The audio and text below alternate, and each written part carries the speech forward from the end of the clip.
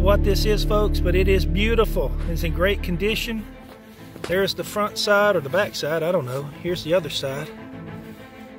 Chris is on his way over here. We'll film him and let him tell us what this is going to be.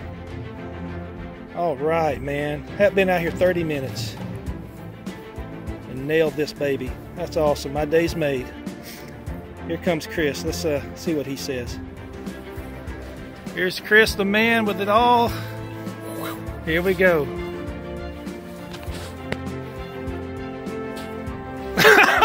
oh, it must be good. Is it Roman? What is it? What is it? what is it? Tell me. what is it? Give me a hug. He's hugging me. That must be good. That must be good. A Saxon coin. Let me get the sunlight here. I'm trembling. Yeah. A Saxon coin. What date range would you say that might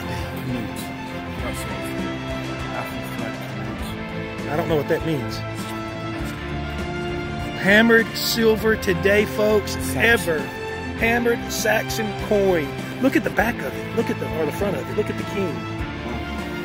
You see how good a shape that's in? All right. This is awesome, man. This is awesome. Oh my, oh, you just can't stop saying, oh my days. Oh my goodness. Look at this, folks.